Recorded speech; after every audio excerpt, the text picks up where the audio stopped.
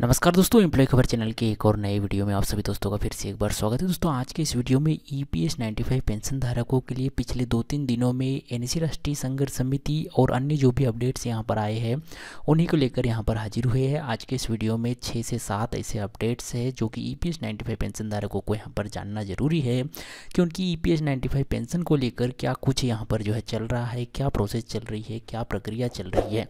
तो चलिए जानते हैं बारी बारी करके इन अपडेट के बारे में। तो सबसे पहले अपडेट है यहाँ पर राष्ट्रीय संघर्ष समिति की ओर से ही। राष्ट्रीय संघर्ष समिति की ओर से यहाँ पर ज्ञापन सौंपे गए हैं। पेंशनर की समस्याओं को लेकर राष्ट्रीय संघर्ष समिति के पदाधिकारियों ने शुक्रवार को सांसद श्री अजय मिश्रा जी से मुलाकात कर ई पी पेंशन की समस्याओं को अवगत कराया और उन्हें यहाँ पर ज्ञापन सौंपा है।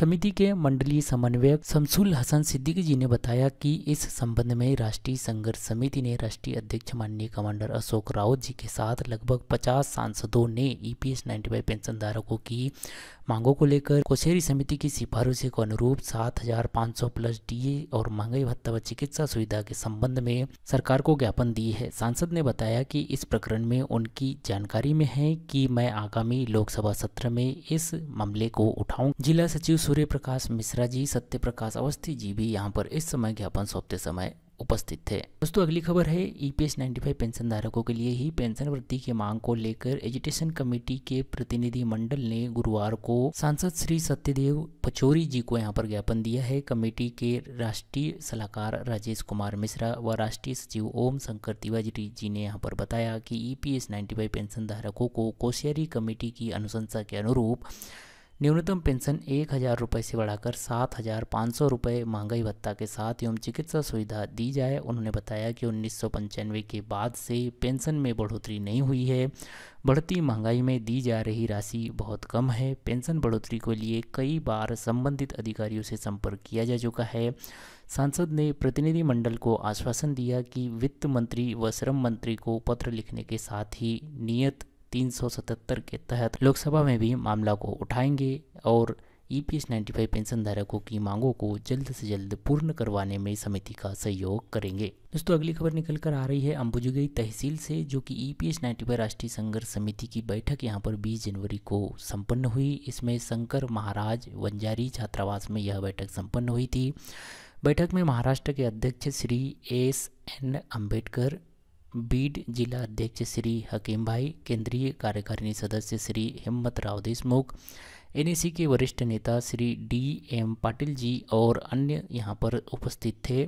समिति के अध्यक्ष ने भाषण में देश भर में राष्ट्रीय संघर्ष समिति के चल रहे कार्य से सदस्यों को अवगत कराया और फरवरी 2021 तक सकारात्मक निर्णय नहीं लेने पर सभी को अगले तीव्र आंदोलन के लिए तैयार होने को कहा।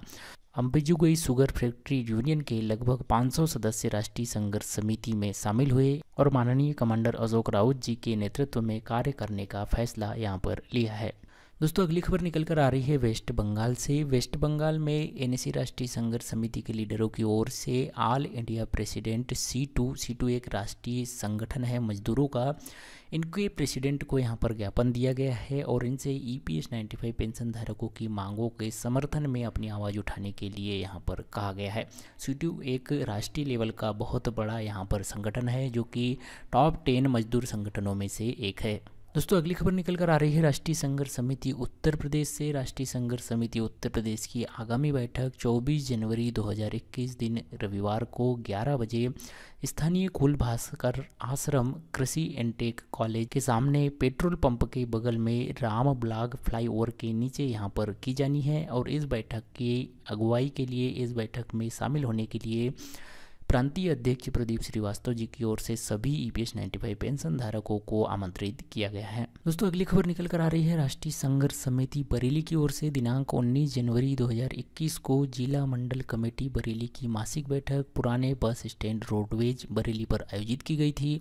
जिसमें राष्ट्रीय कमेटी के पेंशन बढ़ोतरी हेतु किए जा रहे प्रयासों को सभी पी पेंशन धारकों से यहाँ पर चर्चित किया और राष्ट्रीय संघर्ष समिति बरेली की ओर से राष्ट्रीय नेतृत्व माननीय कमांडर अशोक राउत जी से गुजारिश की गई है कि वह जो है जल्दी से जल्दी ई पी एस पेंशन की बढ़ोतरी पर कोई बड़ा कदम ले या तो फिर हमें जो है अनिश्चितकालीन आंदोलन के लिए दिल्ली मर बैठने के लिए एक बड़ा आंदोलन करने के लिए अनुमति दे।